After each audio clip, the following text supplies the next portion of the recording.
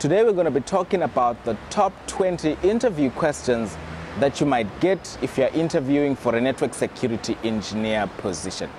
Now, these are the questions that I've been asked myself time and time again on all the interviews that I've attended, and I would like to share them with you. As always, please like this video, subscribe, and leave a comment and tell us more content that you want to see on the channel. Let's roll the intro.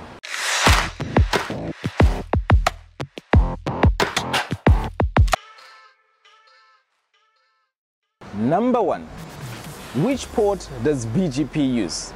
BGP uses TCP port 179. Number two, what are the different BGP messages types? You have the open, keep alive, update, and notification. Number three, what are the different BGP states?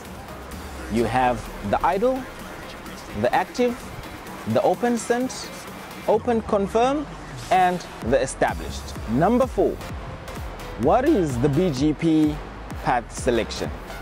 Now, if you're going into a network engineering interview and you don't know the BGP path selection, then you are doomed. I like to use the mnemonic, we love oranges, as oranges mean pure refreshment. You need to memorize the BGP path selection metrics and know how to articulate them. How many states are open in OSPF? You have the down, init, two-way, ExStart, exchange, loading, and full. Number six, what are the different OSPF LSAs? Now you need to be able to articulate the eight LSAs that are appearing on your screen during the interview. Number seven, what is MPLS? MPLS is a mechanism that allows the router to forward packets using labels instead of IP addresses. Number eight, why is MPLS called multi-protocol label switching? Because it supports protocols like Ethernet, Frame Relay, and X25. Number nine, why is MPLS called layer 2.5 technology? Because it inserts an MPLS header between the layer 2 and layer 3 header of an IP packet. Number 10, what are the functions of MPLS?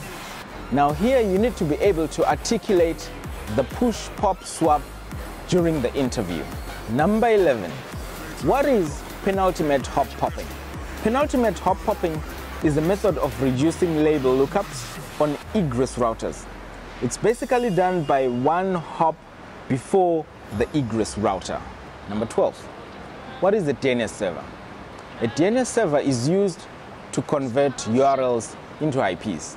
Number 13, what are the different DNS records that you know? You need to be able to articulate the A, AAA record, MX record, NS record, and the CNAME record. Now, in my particular instances, interviewers, they were keen to ask about the CNAME record. Why? Because it's less widely used and it's less popular known by people. So you just need to read a little bit extra on what the CNAME record is. Number 14, what's the difference between an IDS and an IPS? An IDS will only detect intrusions, but an IPS will detect and take action to prevent those intrusions. Number 15, tell us about the TCP three-way handshake. Now with this question, you need to be able to articulate the SYN, SYNACK, and the ACK, how the flow happens between a client and the server. Number 16, what is a brute force attack and how can you prevent it? A brute force attack is when you're trying a combination of passwords over and over and over on a particular system. Now, how can you prevent this? By limiting the login attempts on that particular system, or you can implement password complexity on that system, and you can also specify a password minimum length that is mandatory on that system. Number 17, explain what a DDoS attack is and how you can prevent it. A DDoS attack is when a hacker sends a lot of requests to a particular server and the server gets exhausted and it can't reply. Now, how can you prevent this? You can use anti-DDoS services or you can configure specific rules in your firewall or your router or you can use front-end hardware, you can use load balancers and you can be able to configure a system in order to be able to handle spikes in traffic. Now in this last part, it's about IPsec and there is no network security engineer interview that you will go and they will not ask you anything about IPsec. So you need to know IPsec in depth, it needs to be your bread and butter.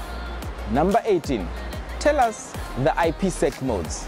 Here you have the transport and the tunnel mode.